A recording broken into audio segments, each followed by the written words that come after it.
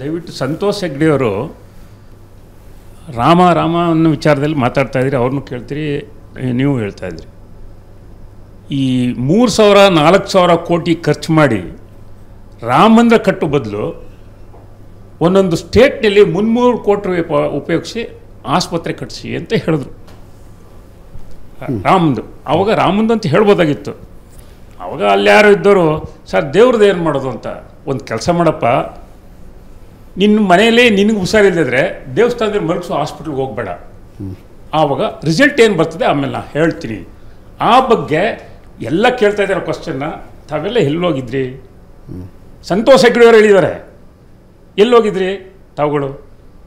ಅವರು ಅವ್ರನ್ನೂ ಸೇರಿಸ್ತಾ ಹೇಳ್ತೀನಿ. ಅವ್ರು, ಅವರು ಆ ತತ್ವದಲ್ಲಿ ಹೋಗ್ತಾವ್ರೆ. ನಾನು ಏನು ಉದ್ದ, ಇಷ್ಟಪಡ್ತೀವಿ ಅಂತಂದರೆ, ಇವತ್ತು ಡಯಾಲಿಸಿಸ್ ಮಿಷಿನ್ ಕೆಲಸ ಏನಂತ? ಕೆಟ್ಟ ರಕ್ತನ ಶುದ್ಧಿ ಮಾಡಿ ಸಮಾಜಕ್ಕೆ ಒಳ್ಳೆ ರಕ್ತ ಕೊಡಬೇಕು ಅಂತ. ಅದರಲ್ಲಿ ಉದ್ದೇಶಪೂರ್ವಕವಾಗಿ ಮಾಡ್ತಾ ಇರುವಂಥ ಕೆಲಸ ಅಲ್ಲ? ನಾನು ಹೇಳೋದು. ಇದನ್ನು ದಯವಿಟ್ಟು ಎಲ್ಲ ಪಕ್ಷ ರಾಜಕೀಯ ಪಕ್ಷ ಯಾವುದು ಎಲ್ಲ ಎಲ್ಲರೂ ನಾನು ಸೇರಿಸಿ ನಾನು ಸೇರಿಸಿ ನಾವು ಅದನ್ನು ಪರಿಪಾಲನೆ ಮಾಡಬೇಕು. ಹಿಂದುಳಿದ ವಿಚಾರ ಮುಂದೆ ವಿಚಾರ. ಮುಂದೆ ಏನು ಯಾತಕ್ಕೆ ಹೋಗಿ ಹೋಗ್ತಾ ಇದ್ವಿ? ಹಿಂದೆ ಮಾಡ್ತಿದ್ದೇನು ಅಂತಂತ ನಾವು ಚರ್ಚೆ ಮಾಡಿ ವ್ಯರ್ಥ ಮಾಡೋ ಬದಲು ಹಿಂದೆ ಪದ್ಧತಿ ಯಾವ ರೀತಿ ಇತ್ತು ಅಂದರೆ ಋಷಿಗಳು ಮೊಳೆ ಹೊಡೆದ್ಬಿಟ್ಟು ಔಷಧಿ ತುಂಬ್ತಿದ್ರು. ಆ ಕಾಲ ಇಲ್ಲ. ಇವತ್ತು ಇಂಜೆಕ್ಷನ್ ಕೊಟ್ಟು ಆಪ್ರೇಷನ್ ಮಾಡಿ ಇದು ಇದರಲ್ಲಿ ಟೆಕ್ನಾಲಜಿ ಹೋಗ್ತಾ ಇದೆ. ಆ ಟೆಕ್ನಾಲಜಿ ಉಪಯೋಗಿಸಿ ಮಾಡಬೇಕು. ಮೈಕ್ ಸರಿ ಆಮೇಲೆ ನಾನು ಇನ್ನೊಂದು ಕ್ರಾಸ್ ಕ್ವಶನ್ ಹಾಕ್ತೀನಿ. ಈ founder and father of the Jesus Christ a man ಒಬ್ಬ ಮನುಷ್ಯ ಅವನು. ಅಂದರೆ ಫಾದರ್ ಅಂತಂದರೆ ಕ್ರಿಶ್ಚಿಯನ್ಗೆ Jesus Christ founder and father of the Islamic Muhammad ಪೈಗಂಬರು ಒಬ್ಬ ಮನುಷ್ಯ. Founder and father of the Guru Nanak Sikh ಧರ್ಮದ ಗುರು ಹೌದು. ಬುದ್ಧ ಅದೇ ಥರ ಆದರೆ ನನಗೆ ಚಿಕ್ಕ ಹುಡುಗನಾಗ ಕೇಳ್ತಾ ಇದ್ದೀನಿ who is the founder and father of the Hindu please ನನಗೂ ಉತ್ತರ ಕೊಡಬೇಕು. ಅಲ್ಲ ಹೌದು, ಉತ್ತರ ಉತ್ತರ ಕೊಡಬೇಕು ನನಗೂ ಇಲ್ಲ who is founder single person who is founder and father of the Hindu who is founder and father of the truth who is founder and is father of truth is different religion is different no no no ಅಲ್ಲ religion ನಿಮಿಷ truth truth ಬೇರೆ. ಅಲ್ಲಿಗೆ ನೀವು deviate ಸಂಸ್ಥಾಪಕ ಯಾರು? ನಾನು ಕೇಳ್ತಾರೆ. Deviate ಮಾಡ್ಕೊಳ್ತಾ ಇದ್ದೀನಿ ಡಿವೇಟ್ ಇಲ್ಲ ಡಿವೇಟ್ ಇಲ್ಲ. Who. Is the founder of truth ಅಂತ ಕೇಳ್ತಾ ಇದ್ದೀನಿ that is a truth is different from the religion what is religion ಆ ರಿಲಿಜನ್ ವಾಟ್ ಈಸ್ ರಿಲಿಜನ್ ಯಾವಾಗ ರಿಲಿಜನ್ ಇದೆಲ್ಲ ಚರ್ಚೆ ಮಾಡ್ತಾ ಇದಿರಲ್ಲ ಧರ್ಮಗಳು. ವಾಟ್ ಈಸ್ ರಿಲಿಜನ್ ನಾನು ಕೇಳ್ತಾರೆ ವಾಟ್ ಈಸ್ ರಿಲಿಜನ್ ನಮ್ಮ ಇವಾಗ ಒಂದು ಹೇಳ್ತೀನಿ. ಒಂದು ಹಕ್ಕಿ ತಗೊಂಡಾಗ ಕಲ್ಲಿರ್ತದೆ. ಬೇಳೆ ತಗೊಂಡಾಗ ಕಲ್ಲಿರ್ತದೆ. ಆ ಸೇರ್ಸ್ ನುಂಗಿ ಅಂತ ಹೇಳೋದು ಬದಲು ನಾವು ಅದು ಬೈಪರ್ಕೆಟ್ ಮಾಡಿಬಿಟ್ಟು ಮನುಷ್ಯ ತಿನ್ನೋದು ಅಂತ ಹೇಳ್ತಾ ಇದ್ದೀವಿ ಸಮಾಜಕ್ಕೆ. ಅದ ಅದನ್ನು ನಾನು ರಿಕ್ವೆಸ್ಟ್ ಮಾಡ್ಕೊಳ್ತಾ ಇದ್ದೀನಿ. ಕ್ರಾಸ್ ಕ್ವಶನ್ ಹಾಕಿ ಬರುವಂಥದ್ದ ನೀವು ದಯವಿಟ್ಟು ವಾಟ್ ಈಸ್ ರಿಲಿಜನ್ ನಿಮ್ಮ ಪ್ರಕಾರ ರಿಲಿಜನ್ ಅಂದ್ರೆ ಏನು? ರಿಲಿಜನು ಅವರವರ ಟ್ರೂತ್ ನಂಬಿಕೆ, ವಿಶ್ವಾಸ, ಧರ್ಮಕ್ಕೆ ತಕ್ಕಂತೆ ಏನು ಬೇಕೋ ಅದು. ಧರ್ಮ ಅಂತಂದರೆ ಧರ್ಮಗಳೆಲ್ಲ ಇದ್ರದ್ದು ಇದೆಲ್ಲ ಧರ್ಮ ಎಲ್ಲ ಹೋಗಬೇಕು. ಮಾನವ ಧರ್ಮ ಅನ್ನೋದು ಒಂದೇ ಒಂದು ಬರಬೇಕು. ಈ ಧರ್ಮಗಳೆಲ್ಲ ಹೋಗಬೇಕು. ಯಾವುದು ಒಳ್ಳೆಯದು ಯಾವುದು ಕೆಟ್ಟದ್ದು ಅಂತ. ಇವಾಗ ಈ ಹಿಂದೆ ಈ ಗಂಗೆ ದೇವರು ಅಂತ ಅಂದ್ಬಿಟ್ಟು ನೀರು ಕುಡಿಸ್ತಿದ್ರು. ಗಂಗೆ. ಏಕ್ದಮ್ ಇವಾಗ ಹೊಳೆಯಲ್ಲಿ ಈ ಬಟ್ಟೆ ಒಗ್ದಿರ್ತಾರೆ, ಆಮೇಲೆ ಇನ್ನೇನೋ ತೊಳೆದಿರ್ತಾರೆ, ಪಾತ್ರೆ ತೊಳೆದಿರ್ತಾರೆ, ಆ ನೀರೆಲ್ಲ ಬರ್ತದೆ ಅದನ್ನ ತಗೊಂಡು ಕುಡಿದ್ರೆ ಏನಾಗ್ತದೆ? ಈ ಕಲ್ಯಾಣಿಲಿ ಹೋಗಿ ಮುಳುಗಿಸ್ತಾರೆ ಏನಾಗ್ತದೆ? ಅದ್ರ ಬದಲು ಶುದ್ಧವಾದ ನೀರನ್ನ ಕುಡೀರಿ ಅಂತ is a filter. Filter water ಕುಡೀರಿ ಒಳ್ಳೆಯದು ಅಂತಂತ ಸಮಾಜಕ್ಕೆ ಕೊಡ್ತಾ ಇದ್ದಾರೆ. ಇವಾಗ ನಾವು ದೇವ್ರನ್ನ ನಂಬ್ತೀವಿ, ನಾವು ಇದು ಮಾಡ್ತೀವಿ ಅಂತಂದರೆ ಆ ನೀರನ್ನ ಕುಡಿದು ಪ್ರತಿಫಲ ಅನುಭವಿಸ್ಲಿ ಅಷ್ಟೇ. ಅದನ್ನು ಮಾಡಿ. ಪ್ರಾಕ್ಟಿಕಲಾಗಿ it is a real practical ಮಾಡೋಣ. ಸರ್ ನೀವು ಎಲ್ಲಿಂದ ಎಲ್ಲೆಲ್ಲಿಗೆ ಹೋಗ್ತಾ ಇದ್ದೀರಿ? ಹಾಂ. ನೀವು ನಾನು ನಾನು ಕೇಳಿದೆ ನಿಮ್ಮ ಪ್ರಕಾರ ರಿಲಿಜನ್ ಅಲ್ಲ ಇವಾಗ ಉದ್ದೇಶ ಅವ್ರದ್ದು ಉದ್ದೇಶ ನಿಮ್ಮ ಉದ್ದೇಶ ನಮ್ಮ ಉದ್ದೇಶ ಎಲ್ಲ ಸಮಾಜ ಒಳ್ಳೇದಾಗಲಿ ಅಂತ. ಅಷ್ಟೇ. ಈ ಸಮಾಜಕ್ಕೆ ಒಳ್ಳೇದಕ್ಕೆ ನಾನು ಹೇಳ್ತೇನೆ. ಅಷ್ಟೇ. I am given message it is getting opportunity ಅವಕಾಶ ಸಿಕ್ಕಿದೆ ನಾನು ಹೇಳ್ತೀನಿ. ಎಲ್ಲಿಂದ ಎಲ್ಲಿಗೂ ಹೋಗೋದಲ್ಲ ಮಾನವ ಮಾನವ ಬದುಕಬೇಕಷ್ಟೇ. ಇವತ್ತು ನಾನು ಒಂದು ಪ್ರಶ್ನೆ ಹೇಳ್ತೀನಿ. ಆ ಪ್ರಶ್ನೆ ಅಲ್ಲ ಕನ್ಕ್ಲೂಡ್ ಅದು ಆ, ನಮ್ಮ ದೇಶದಲ್ಲಿ ಹುಟ್ಟಿದಂಥ ಧರ್ಮ, ಬುದ್ಧ ಧರ್ಮ ಅವತ್ತು ಅಶೋಕ ಎಂಬ್ರಾಸ್ ಮಾಡಿದಾಗ ಆ ಬುದ್ಧ ಧರ್ಮದಲ್ಲಿ ಅಶೋಕ ಕಳಿಂಗ ಅವ್ರು ಬೇಡ ಅಂತ ಅಂದ್ಬಿಟ್ಟು ಇಟ್ಬಿಡ್ತಾನೆ. ಯಾಕೆಂದರೆ ನನ್ನ ಶತ್ರುಗೂ ಹೊಡೆದ್ರೆ ಆ ಮನೇಲಿ ಕಣ್ಣೀರಾಗ್ತಾರೆ ಅಂತ.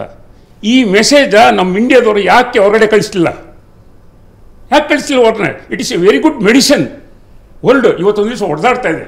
ಆ ಯುದ್ಧ ಇಷ್ಟು ಆರ್ಮಿ ಇದೆಲ್ಲ ಉಪಯೋಗಿಸ್ಕೊಂಡು ಖರ್ಚು ಮಾಡಿ ಎಲ್ಲ ವ್ಯರ್ಥ ಆಯ್ತದೆ. ಸಿಂಪಲ್ ಅಶೋಕ ಏನು ಮಾಡ್ದ? ಆ ಧರ್ಮನ ಪ್ರಚಾರ ಮಾಡಿ ಅಂತಂದರೆ ಯಾರೂ ಮಾಡಿಲ್ಲ ವೆಸ್ಟೆಡ್ ಇಂಟ್ರೆಸ್ಟ್ ವೆಸ್ಟೆಡ್ ಇಂಟ್ರೆಸ್ಟ್ ಉದ್ದೇಶಪೂರ್ವಕವಾಗಿ ಮಾಡಿಲ್ಲ. ಅದನ್ನು ಎಕ್ಸ್ಪ್ಲೋರ್ ಮಾಡ್ತಾ ಇದ್ದಾರೆ. ಪುದೆ ಹೇಳ ಅಂತ ಹೇಳ್ತಾರೆ. ತಮಿಳಲ್ಲಿ ಪುದೆ ಹೇಳ. ಊತಿರುದ ತೆಗೆದು ಹೊರಕ್ಕೆ ಹಾಕೋದು. ಇದು ಪ್ರಯತ್ನ ಪಟ್ಟು ಒಳ್ಳೆ ಅದಕ್ಕೆ ನಾನು ಈ ಡಯಾಲಿಸಿಸ್ ಮಿಷನ್ನ ಕಂಪೇರ್ ಮಾಡ್ತಾ ಇದ್ದೆ ಎಲ್ಲರಲ್ಲೂ ರಿಕ್ವೆಸ್ಟ್ ಮಾಡ್ಕೊಂಡು, ಇಂಥ ಜನ, ಅಂಥ ಜನ, ಇಂಥ ಪಕ್ಷ, ಅಂಥ ಪಕ್ಷ ಇಲ್ಲ. ಆ ಕೆಲಸ ಏನು ಮಾಡ್ತದೆ, ಆ ಕೆಲಸನ ಪರಿವರ್ತನೆ ಮಾಡೋಕ್ಕೆ ಉಪಯೋಗಿಸಿ. ದಯವಿಟ್ಟು ಪರಿವರ್ತನೆ, ಮನುಷ್ಯನ ಪರಿವರ್ತನೆ ಮಾಡೋದೇ ಸಾಕು. ಇವಾಗ ನಮ್ಮ ದೇಶದಲ್ಲಿ ದೊಡ್ಡ ಮೆಡಿಸಿನ್ ಇತ್ತು. ವಾರ್ ಬೇಡ ಅಂತ. ಯಾಕೆ ನಮ್ಮ ದೇಶದಿಂದ ಪ್ರಚಾರ ಮಾಡಲಿಲ್ಲ? ಇವಾಗ ಒಂದು ಉದಾಹರಣೆ ಒಂದು ಉದಾಹರಣೆ ಹೇಳ್ತೀನಿ.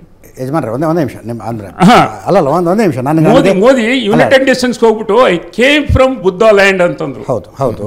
ಅಲ್ಲ ಸರ್? ಅದಕ್ಕೆ ಪ್ರತಿಯಾಗಿ ಎರಡು ಮೂರು ದಿವಸದಲ್ಲಿ ಅವ್ರು ಹೇಳಿದ್ರು then you can built I is a great man Buddha ಇದು ಮೋದಿ ಆ ರೀತಿ ಹೇಳಿರೋದು ಭಾಳ ಅಪ್ರಿಷಿಯೇಟ್ ಮಾಡಬೇಕು. ಅವರು ದಯವಿಟ್ಟು ಬುದ್ಧ ಭವನ ಕಟ್ಟಿ. ಬುದ್ಧ ಭವನ ಕಟ್ಟಿ ಅಂತ ಇಮ್ಮಿಡಿಯೇಟ್ ಸ್ಟೇಟ್ಮೆಂಟ್ ಕೊಟ್ಟರು ಅಲ್ಲ ಒಂದೇ ಒಂದೇ ನಿಮಿಷ. ಅಲ್ಲ. ಸರ್ ಸರ್ ಒಂದೇ ಒಂದೇ ನಿಮಿಷ ಒಂದೇ ನಿಮಿಷ. ಈ ಮೂರು ಸಾವಿರ ಕೋಟಿ ಕೊಟ್ಟರೆ ಪ್ರಜಾವಾಣಿ ಎಲ್ಲ ಪತ್ರಿಕೆಗಳು ಫ್ರಂಟ್ ಲೈನ್ ಅಲ್ಲ, ಅಲ್ಲ, ಬನ್ನಿ, ಬನ್ನಿ, ಸರ್ ಸರ್ ಸರ್ ಒಂದ್ ನಿಮಿಷ ಒಂದೇ ನಿಮಿಷ. ಒಂದೇ ನಿಮಿಷ. ಈಗ ಮೂರು ಸಾವಿರ ಕೋಟಿ ಕೊಟ್ಟು ರಾಮ ಮಂದಿರ ಯಾಕೆ ಕಟ್ಟಬೇಕು ಮುನ್ನೂರು ಹಾಸ್ಪಿಟಲ್ ಕಟ್ಟಬಹುದು ಅನ್ನೋ ವಾದ ತಮ್ಮದು ಬುದ್ಧ ಮಂದಿರದ ಬದಲು ಬುದ್ಧ ಭವನದ ಬದಲು ಹಾಸ್ಪಿಟಲ್ ಕಟ್ಟಬಹುದು. ಇರ್ಲಿ ಅಂದ್ರೆ ಇರ್ಲಿ. ಈಗ ಕಟ್ಟೋ ಕಟ್ಟೋದು. ಅಲ್ಲ ಕಟ್ಟೋ ಬಗ್ಗೆ ಮಾತಾಡೋಣ? ಕಟ್ಟುವ ಬಗ್ಗೆ ಕಟ್ಟುವ ಬಗ್ಗೆ ನಾನು ಮಾತಾ ಸರ್ ಸರ್ ಸರ್ ಒಂದೇ ನಿಮಿಷ. ನಾನೊಂದು ಹೇಳಿದೆ. ಭಗವಾನ್ರ ಭಗವಾನ್ರ ಒಂದೇ ಈಗ ನಿಮಿಷ. ರಾಮ ಮಂದಿರ ಕಟ್ತಾ ಇದ್ದೀರಿ. ಭಗವಾನ್ರ ಒಂದೇ ನಿಮಿಷ ಭಗವಾನ್ರ ಒಂದೇ ಒಂದೇ ನಿಮಿಷ ಒಂದೇ ನಿಮಿಷ ಇರಿ. ನೀವು ಸಂತೋಷ ಹೆಗಡೆ ಹೇಳಿಕೆ ನಾನು ಗಮನಿಸಿಲ್ಲ. ಅಕಸ್ಮಾತ್ ಅವರು ಹೇಳಿದ್ದರೆ ಅದನ್ನು ಹೇಳುವ ಸ್ವಾತಂತ್ರ್ಯ ಅವರಿಗಿದೆ. ಅದನ್ನು ಹೇಳುವ ಸ್ವಾತಂತ್ರ್ಯ ಅವರಿಗಿದೆ. ಅದೇ, ಅವರ ಅಭಿಪ್ರಾಯ. ರಾಮ ಮಂದಿರವನ್ನು ಕಟ್ಟೋದಕ್ಕೆ ನನ್ನನ್ನೂ ಸೇರಿದಂತೆ ಅನೇಕರು ತಮ್ಮ ದುಡಿಮೆ ಹಣವನ್ನು ದಾನವಾಗಿ ಕೊಟ್ಟಿದ್ದಾರೆ. ಆ ದುಡಿಮೆ ಹಣದಲ್ಲಿ ಅಲ್ಲೋ ಅಲ್ಲೊಂದು ರಾಮ ಮಂದಿರ ಆಗ್ತಾ ಇದೆ. ಅದು ಅವರ ಶ್ರದ್ಧೆ ಶ್ರದ್ಧೆ.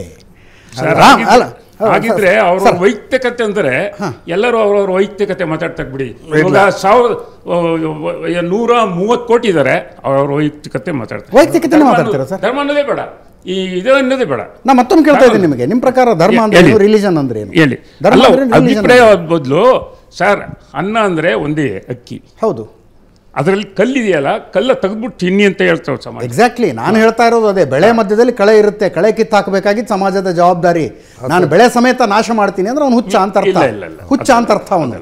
ಹಾಂ ಉದಯನಿಧಿ ಹೇಳಿಕೆ ಬಗ್ಗೆ ಅದಕ್ಕೆ ಕಳೆ ತೆಗೆದಾಗ್ಲೇಬೇಕು. ಮೇಡಮ್ ಮೇಡಮ್ ಒಂದು ಒಂದು ನಿಮಿಷ ಒಂದು ಮುಗಿಸ್ಬಿಡ್ತೀನಿ ರಾಮ ಮಂದಿರ ಇವು ಬಂತು. ಆ ಸಂದರ್ಭದಲ್ಲಿ ನಾನೊಂದು ಮಾತು ಹೇಳಿದೆ. ಯಾಕೆ ರಾಮ ಮಂದಿರನ್ನೇ ಕಟ್ತಾ ಇದ್ದೀರಿ? ಶಿವ ಮಂದಿರ ಯಾಕೆ ಬೇಡ? ಈ ದೇಶದ ಆದಿದೇವರು ಶಿವ. ಶಿವನನ್ನು ರಾಮನೂ ಪೂಜೆ ಮಾಡ್ತಾನೆ ರಾವಣನು ಪೂಜೆ ಕೃಷ್ಣನೂ ಪೂಜೆ ಮಾಡ್ತಾನೆ. ರಾವಣನೂ ಪೂಜೆ ಮಾಡ್ತಾನೆ. ಆದ್ದರಿಂದ ಶಿವ ಅತ್ಯಂತ ಪ್ರಾಚೀನವಾದ ದೇವರು. ಇವ್ರು ಯಾಕೆ ಅವನ್ನು ಮಾಡ್ತಾ ಇಲ್ಲ? ಯಾಕೆ ಅಂದರೆ ಶಿವ ದಕ್ಷ ಯಜ್ಞವನ್ನು ನಾಶ ಮಾಡ್ದ.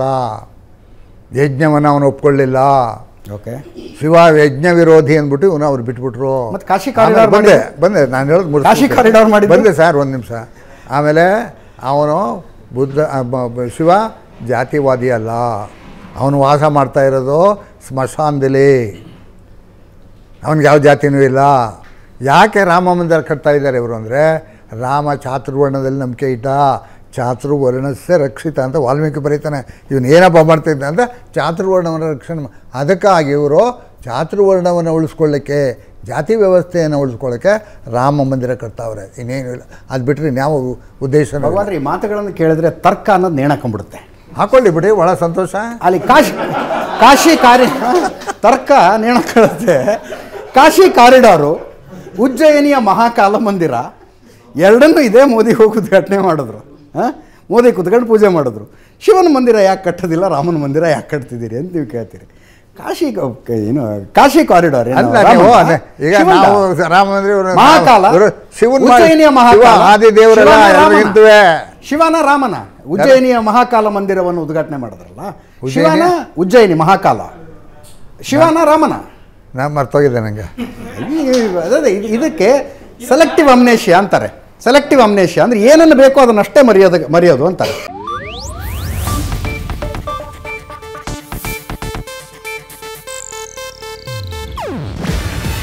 ಇದು ಏಷ್ಯಾನೆಟ್ ನ್ಯೂಸ್ ನೆಟ್ವರ್ಕ್ ಪ್ರಸ್ತುತಿ. ನೀವು ನೋಡ್ತಿದ್ದೀರಾ ಏಷ್ಯಾ ನೆಟ್ ಸುವರ್ಣ ನ್ಯೂಸ್.